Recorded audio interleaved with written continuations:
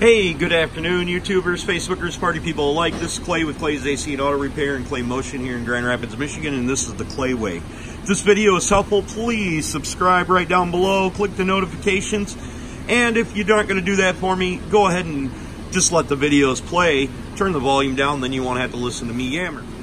If you got a question for me, you're more than welcome to hit me up on Clay's AC and Auto Repair. I'll certainly try to answer your automotive. So real short and quick here, I want to get to down to what we're talking about. We've got a Jeep Liberty, and I've had about 10 of these things, and every single one of them, the driver's window will go down, but then you pull the switch and it won't go up. Now, I'm suspecting in this situation, I bought this vehicle at auction, so I don't really know the supreme history on it. Um, this window switch is broken.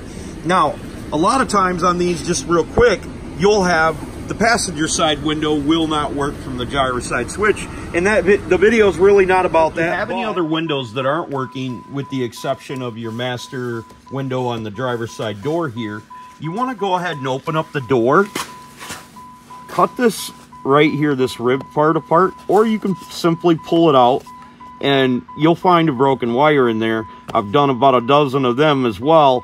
So check that out first before you replace your switch if you do have any other windows that aren't working.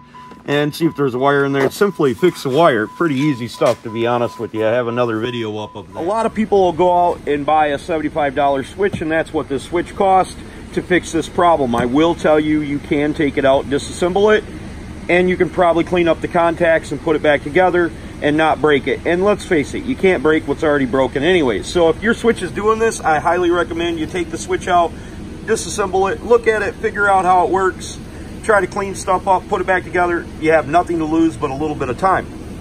But in this situation, our window, we pull it, does nothing.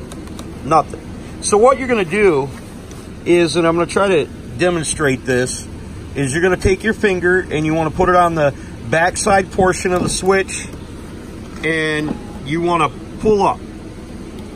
Now it doesn't work every time and obviously it's difficult for me to show you an angle where this does work but if I push down on the back of here and pull up on the front of here like it's supposed to that creates the contact and makes it work.